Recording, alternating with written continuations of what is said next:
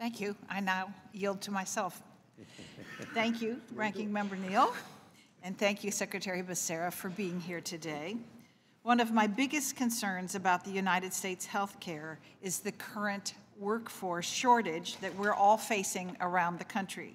This shortage is particularly concerning in rural communities where hospitals are closing at higher rates than anywhere else in the country. While inflation caused by the Biden administration's out of control spending is partly to blame for hospitals struggling, a dwindling workforce is often also cited as one of the biggest problems for rural hospitals. One policy which contributed to this shrinking healthcare workforce was a vaccine mandate for the healthcare workers, which was put in place by the Biden administration. The Centers for Medicare and Medicaid Services gave hospitals an ultimatum force your entire staff to get vaccinated or no Medicaid services, they will no longer participate in Medicare or Medicaid programs. In rural America, where a disproportionate share of patients are enrolled in Medicare and Medicaid, this gave hospitals an impossible choice. Your agency forced healthcare workers that did not want to get a vaccine out of the workforce.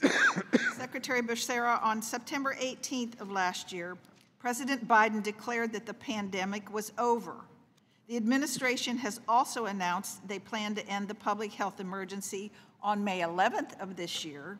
Can you please explain to me why this administration intends to keep the CMS vaccine mandate in effect until November of 24, especially when we know this policy is contributing to the workforce shortage?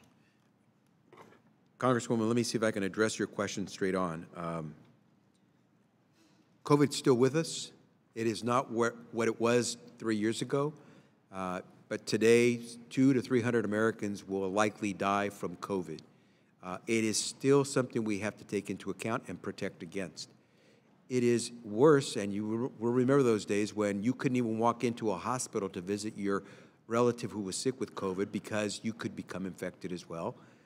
We have to make sure we're protecting each other. Well, and that's and certainly healthcare workers have to be protected against COVID, and we have to make sure we're protected against healthcare workers who are treating health COVID-infected patients. And it would be irreconcilable to say that a healthcare worker who is around COVID should not be vaccinated to make sure that he or she is not inadvertently passing COVID on to people who are not yet infected. Well, you've just repeated that, basically.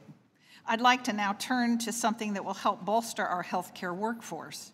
In 2020, Congress took the historic step of adding 1,000 new graduate medical education slots to train additional physicians for the first time ever.